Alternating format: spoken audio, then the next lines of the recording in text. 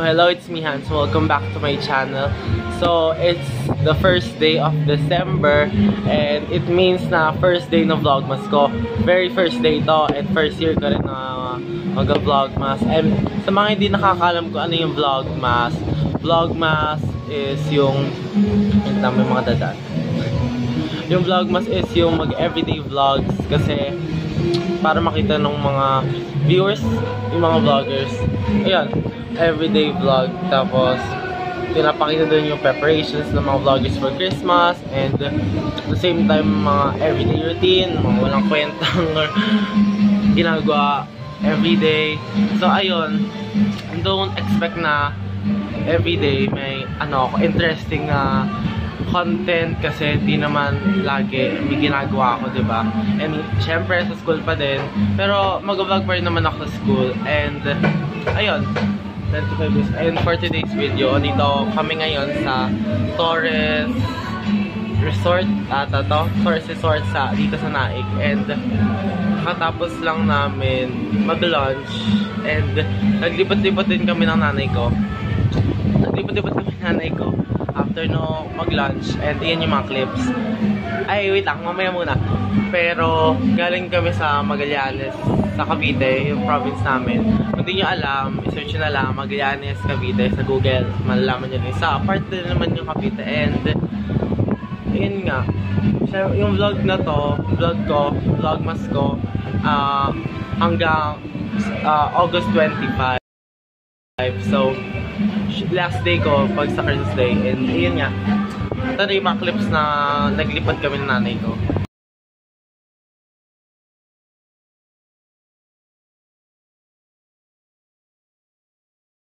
Hello guys, kakakain lang namin. And, picture taking na lang kami. Wala niya ako kasama. Hi! Hi! So, una kami nag-picture doon sa Pyramid of Egypt. Tapos next dito sa Statue of Liberty. Since maraming tao dun sa Statue of Liberty, dito naman kami. Saan to na eh? Ano to? Ha? Ano to? Castle? Hindi namin alam yung tawag. Eh?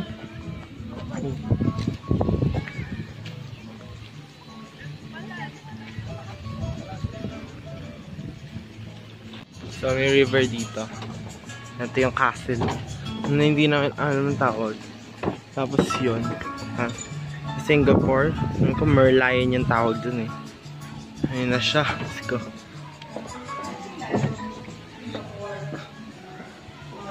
Hmm? Ayun no? May dyan ka. Dyan ka. Ayun na. The Queen. One, two, three.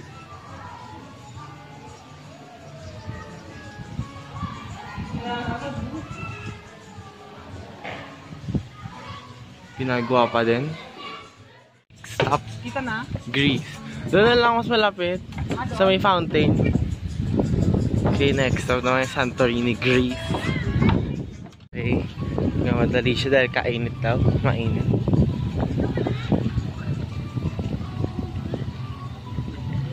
May pa pa siya. Saan naman na eh? Saan naman?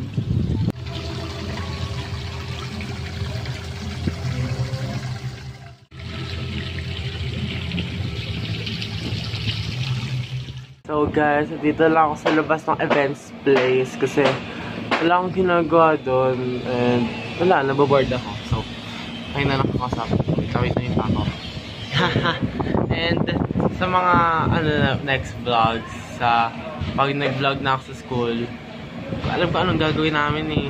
Kaya, siguro, practice, tapos, di ba? Ko, kasi hindi ko alam kung anong gagawin namin for the next days. And siguro ba first week, second, third week or second week pa maging interesting. Like, meron kami mga activities yung foundation week namin, sayawan ulit, and the Christmas party. yun, kaya watch out na lang sa mga vlog ko. And I hope na supportahan nyo ako sa first year ng vlogmas ko kasi wala, di ko alam talaga paano ginagawa pag vlogmas. Yun lang talaga kasi nakapala na ako sa, ng vlogmas sa ibang YouTubers. And sana supportahan nyo ako. And gusto ko nga pala rin i-share sa inyo na yung goal ko for this year before mag-end itong year na to is maka 100 subscribers ako.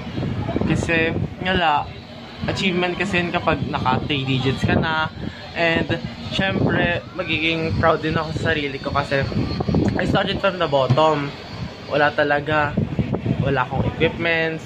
Yeah, cellphone pa rin. Hanggang ngayon syempre ganun naman talaga from the start. Yun nga gusto ko lang i-share sa inyo. Kasi pag na nakuha na natin yung uh, goal ko syempre part naman kayo nung goal na yon kasi kung di naman dahil sa inyo hindi, hindi ko maka, makakuha yon and yun lang. Gusto ko lang i-share sa inyo kasi trip ko kung na-notice nyo yung mga pinag-picture namin dito is mga parang tourist spot sa ibang bansa. And yun nga yung parang naging team nila dito ng resort na to. And kung gusto nyo magpunta dito i-search na lang Torres Resort. Dito, basta dito sa Naik Cavite yon and makikita nyo naman yon so yon sa maganda dito.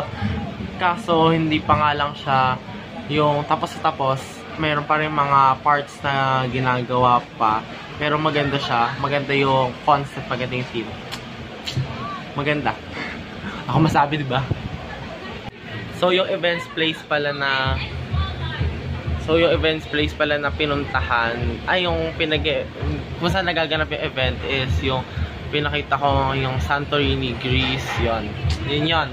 Basta. Merong event space sa loob. Kaya maganda rin. Yan ang concept. Okay, photoshoot resume. Kasi lumilom-lilom na. Yun.